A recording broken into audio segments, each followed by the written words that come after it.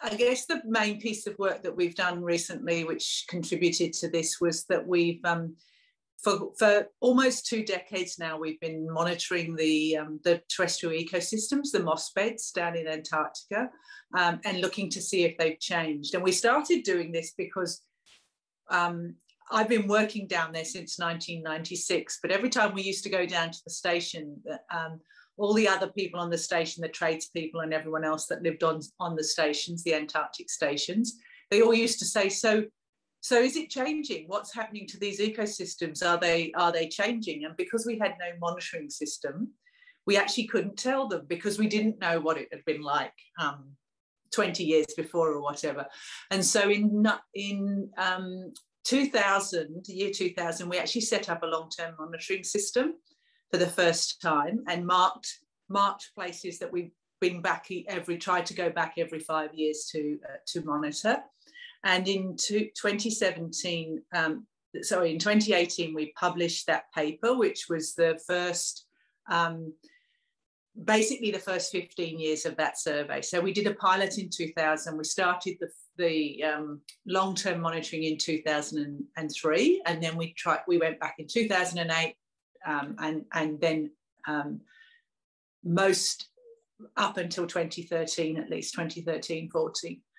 Um, so we published published that study, and that was the first study really to show that a terrestrial ecosystem in Antarctica has changed because of climate change.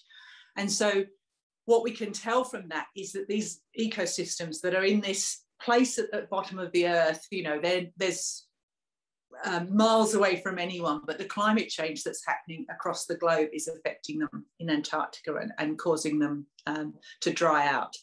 And that's um, that was the first indication that there was actually a terrestrial ecosystem that was changing. So um, on the continent as a whole. So up until then, we thought that most of the change was actually happening on the Antarctic Peninsula because that was the area of the planet that's been warming the most rapidly.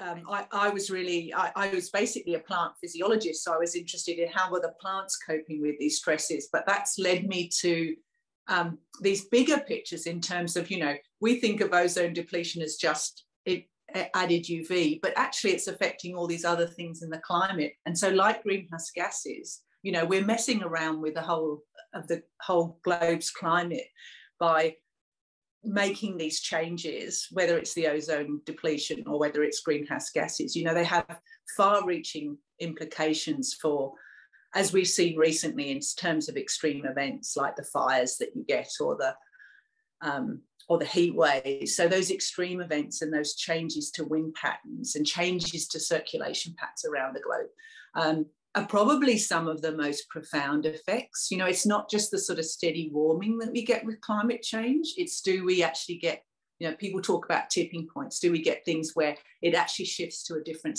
system and that can be very profoundly different for both humans and for um, animals and plants on the globe.